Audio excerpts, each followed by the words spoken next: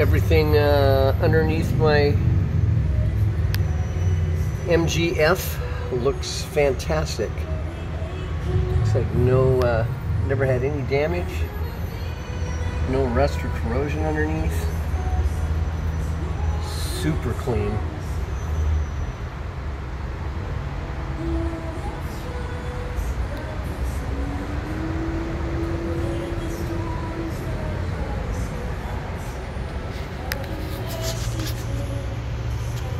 I'll go back and get you a view from the back.